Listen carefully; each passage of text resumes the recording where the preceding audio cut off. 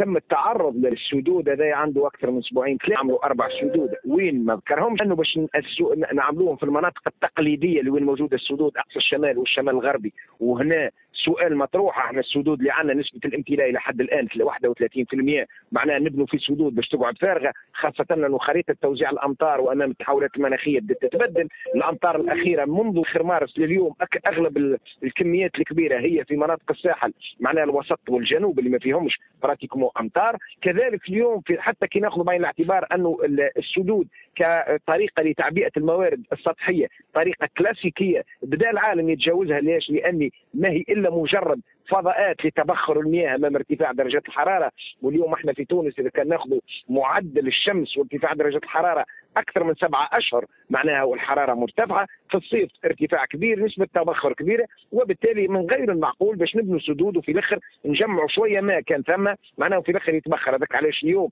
أنا تمنيت انه الطرح يكون طرح جدي وطرح جديد ونفكروا ونبحثوا في حلول أكثر جدوى إما أنه نمشوا للمناطق اللي تجي فيها مطرات كبار كما صفاقس كما مناطق الساحل مرفات في المستير كانت أكبر ولاية شهدت أمطار فترة بداية مارس ولكن كلها مشت للسباق ومشت للبحر آه، اليوم مهم جدا أن نفكروا في سدود ولو ظرفيه معناها في مناطق الجنوب تجي حملات كبار نلموا ما يمكن تجميعه ويتساعد برشا المناطق هذيك على مستوى معناها تخفيف الضغط على الموائد الجوفية العميقة اللي قاعدة تتعرض إلى عملية ضغط كبير في ظل شح الأمطار وفي ظل انحباسها. اثنين نفكروا في السدود الجوفية اللي ما تتطلبش استثمارات كبيرة لكن تنجم توصل كميات كبيرة نتاع ماء إلى الموائد المائية وقت الظروف الجيولوجية تسمح. وهذايا ما يسمى أنه أحسن خزان وأحسن سد للماء للماء هو المائدة المائية. نسبة تبخر السر ومحمية من التلوث وبالتالي اليوم يلزمنا نوع من إبداع